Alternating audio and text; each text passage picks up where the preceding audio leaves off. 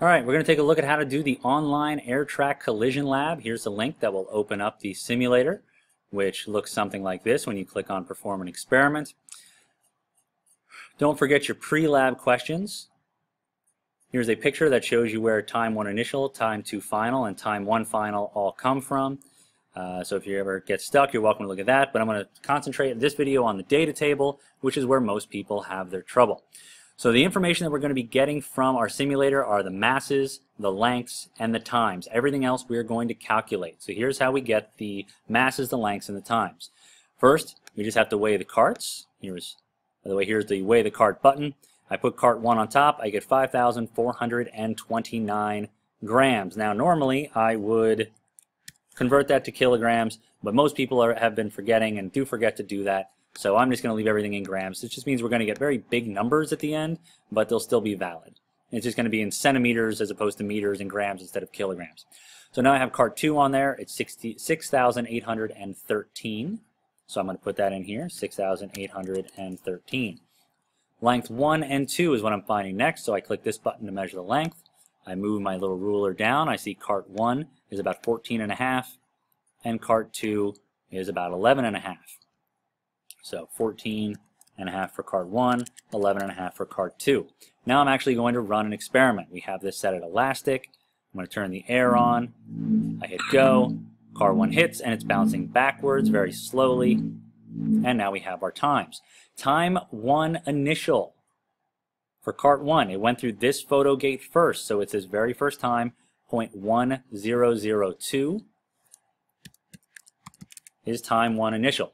Time one final, it hit, cart one hit and bounced back, so its final time, the time after the collision, is over here on the right side, 0.8848.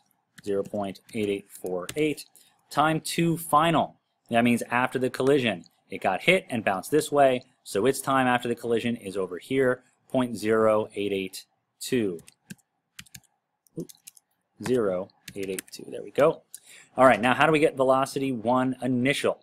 Well, we'll get to that. First, we're going to finish up our getting our data down here in Inelastic. The masses don't change. So for M1, it's still 5,429. Mass 2 hasn't changed. That's still 6,813.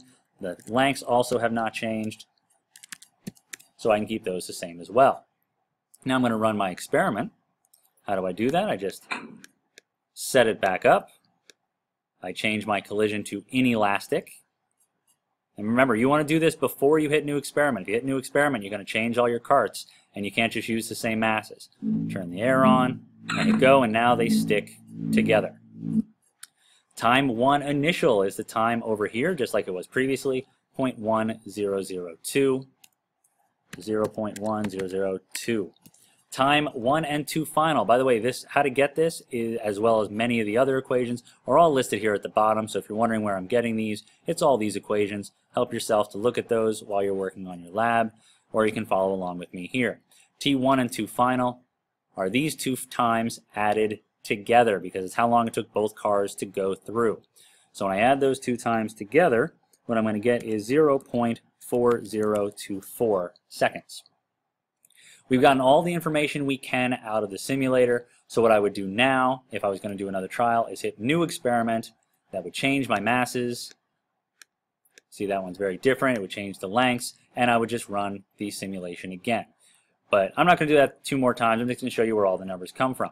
V1 initial is found by taking length 1 divided by time 1 initial. You want to make sure if you're finding something for 1, you're only using values for cart 1. So L1 divided by t1, and since I'm looking for initial speed, I'm using initial time. So T L1 divided by T1 initial gives me V1 initial, which is 144.71.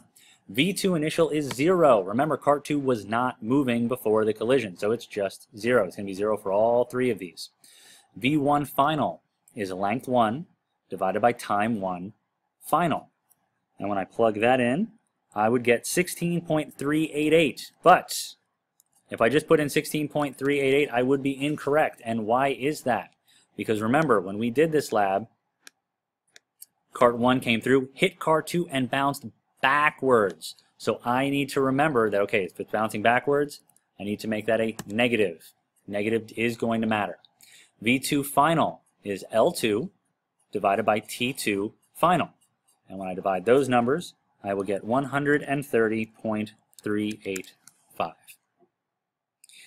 Down here, in doing the inelastic, V1 initial is L1 divided by time 1 initial. Those are the same numbers we had up top. So it's going to be the same value of 144.71.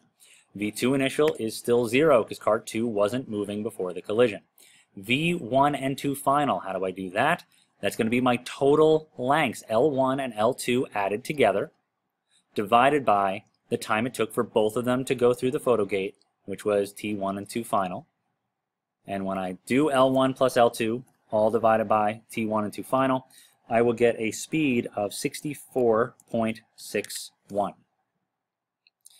Now I'm going to be able to solve for momentum. You can see the first line of my blue here. You can see the blue up top. So P1 initial, momentum is M, so I'm going to use M1, and M times V, and I'm going to use V1 initial. So I multiply M1 and V1 initial, I'm going to get 785,633.73 for my momentum. Now, for initial momentum of car 2, it's just 0. Why? Because its initial speed of car 2 was 0 because it wasn't moving.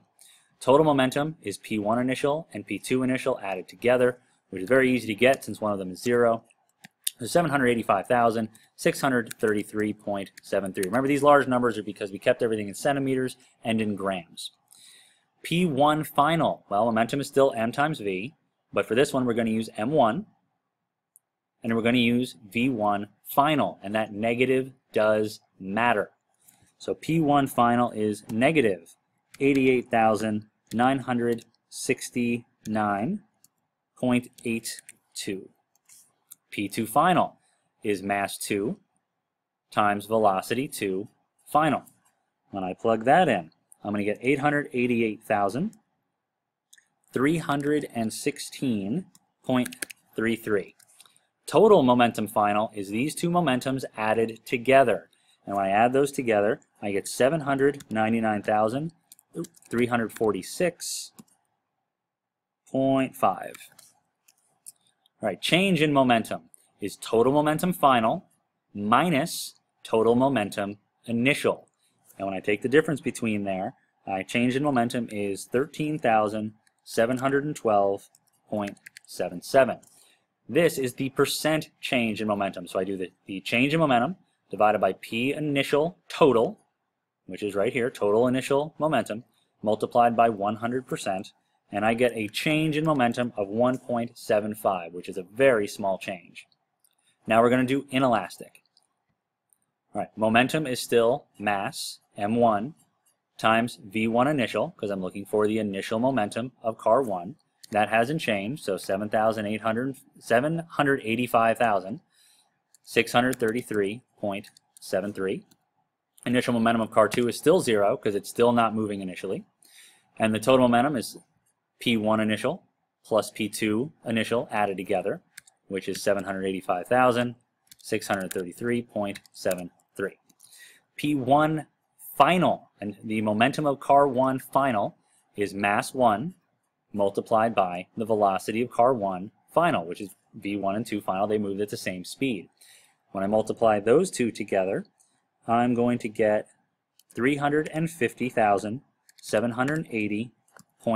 350,780.32. P2 final is mass 2 times velocity of the car 2 final. And that is going to give me 440,203.78. Total mental total momentum final is these two numbers added together. And that's going to be 790,984.1. Change in momentum is total momentum final minus total momentum initial. That's going to be 5,350.36.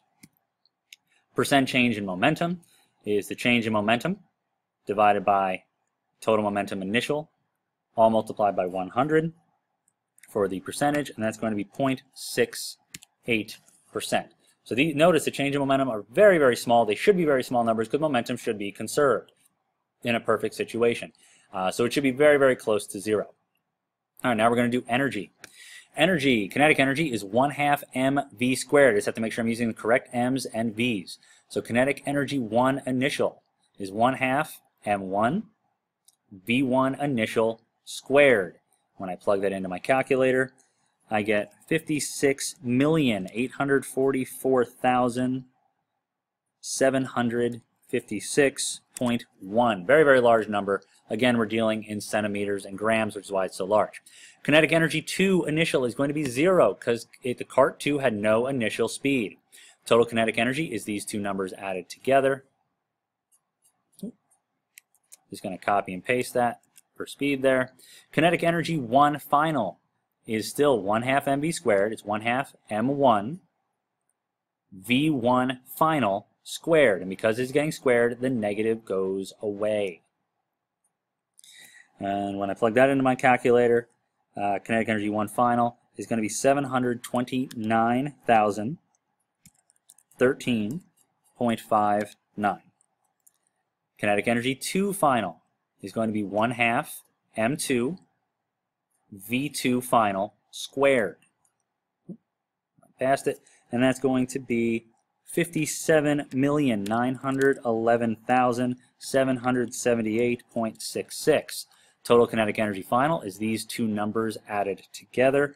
That's going to be 58 million six hundred forty thousand seven hundred ninety two point two four.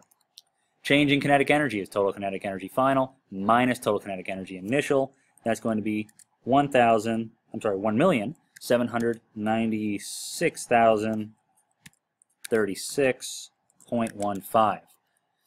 Doing my percent change in kinetic energy, just using the equation that's written right there, I get a percent change of 3.16. Again, that number should be pretty close to zero because kinetic energy is supposed to be conserved in an elastic collision. In an inelastic collision, I'm doing kinetic energy 1, which is 1 half m1 v initial squared. So that's going to be the exact same number that I had right there because I'm using the exact same information. Kinetic energy of car 2 initially is still 0. Oops, I accidentally changed this one blue. It's supposed to be green. You get the idea. Total kinetic energy is these two numbers added together. I'll type it in this time so I don't accidentally turn it blue. And that's just the initial kinetic energy of car 1. Kinetic energy 1 final is going to be 1 half m1 times velocity of car 1 final squared. I'm going to use 1 half m1 times v1 2 final squared. And that's going to get me kinetic energy 1 final of 11,332,366.14 kinetic energy 2 final is 1 half, oh, 1 half m2 times v2 final.